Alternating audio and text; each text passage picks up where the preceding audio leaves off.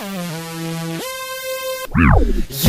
what up? Yeah, my name's Mr. Key Club. I got something to say, so listen up, bub. Close your mouth and shut your lips. I'm about to tell you something that you don't wanna miss. Cause I'm walking down the street, busting caps in the hood. I look to my right and I say, what is good? It's community service.